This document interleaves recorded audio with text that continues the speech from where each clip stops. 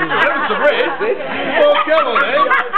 I want to see how this is done, because you never done it to me.